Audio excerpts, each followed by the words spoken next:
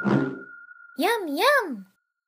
William Vaughan here with a quick introduction to assigning material tags in Modo. Material tags are used to determine areas of a mesh where surfacing properties are applied. To assign a material tag, start by selecting the polygons you want to tag and choose Assign Material Group, or simply use the keyboard shortcut M to open the Polygon Set Material dialog box. There are several material attributes available to define, including the name and color. Once you've modified the values to your liking, click OK to assign the tag to the selected polygons and to create a material in the shader tree. You can add additional material tags to define all the various surfaces in a scene in the same way, but keep in mind that a polygon can only be assigned to a single material tag.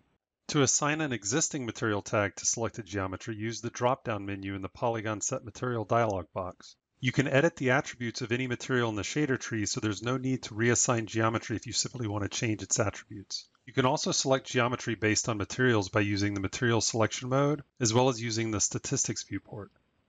Oh, look at the time.